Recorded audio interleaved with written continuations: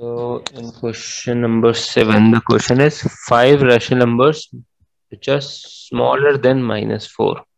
That means if I draw on a number line, Yes. which are on the left side of the minus four.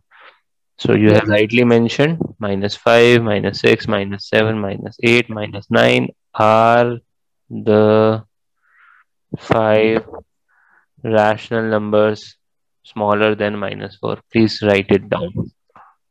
Okay. Find 20 rational numbers between minus 3 and 7, 3 upon 7 and 2 upon 3.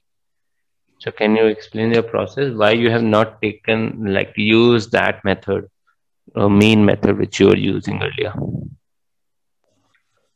So for that method, uh, it would be like really tedious to do it like again and again.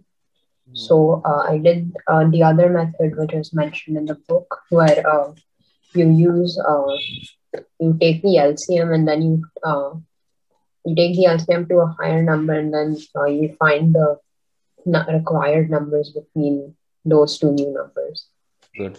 So uh, for mean method or average method, if it is mentioned then strictly you have to use. Otherwise, you can use the method which you are using right now. So LCM of yes. 7 and 3 is 21. So minus 7 upon 3 becomes 9 upon minus 9 upon 21.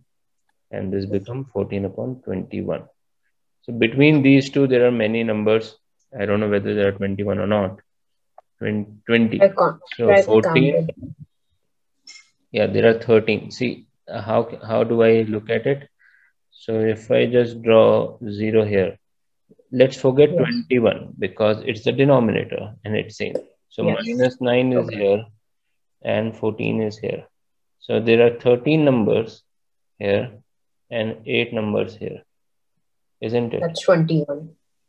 So that's why we can do it directly. So that's absolutely correct. Minus 8, minus 7, minus 6 da, da, da, are the 20 rational numbers. That's absolutely correct.